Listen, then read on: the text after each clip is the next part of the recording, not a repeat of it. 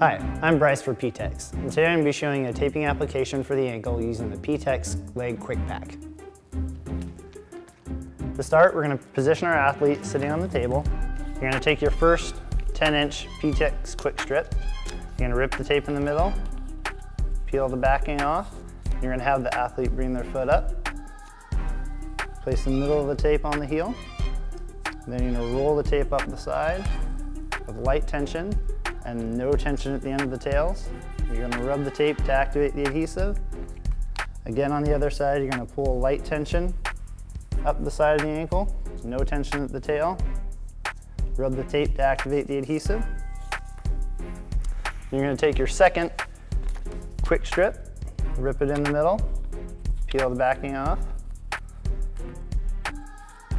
With light tension to moderate tension right across the middle.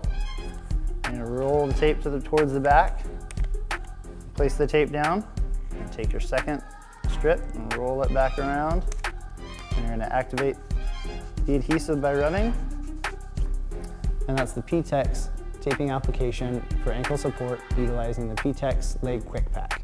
For additional support, you can utilize the P-Tex Figure 8 ankle brace with kinetic paneling. For additional support, you can utilize the P-Tex ankle stirrup with kinetic paneling as well.